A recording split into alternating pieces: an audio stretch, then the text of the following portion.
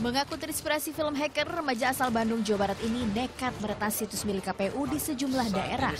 Salah satunya milik KPU Jawa Barat. Pelaku yang masih berstatus siswa sekolah menengah atas ini meretas situs KPU Jawa Barat dengan mengubah tampilan depannya atau biasa disebut defacing. Terungkapnya kasus ini setelah pihak Direktorat Siber Mabes Polri menerima laporan dari pihak KPU Jawa Barat.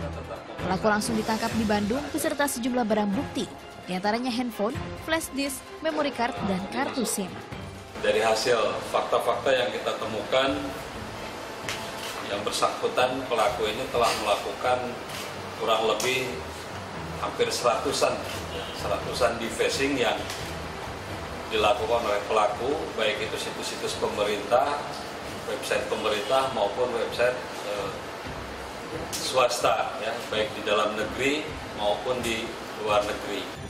Pelaku yang masih berusia 16 tahun ini dijerat pasal 33 Undang-Undang tentang Informasi dan Transaksi Elektronik dengan ancaman hukuman 10 tahun penjara. Namun karena masih di bawah umur, Ditsiber melimpahkan kasus ini kepada Direktorat Perlindungan Perempuan dan Anak Mabes Polri.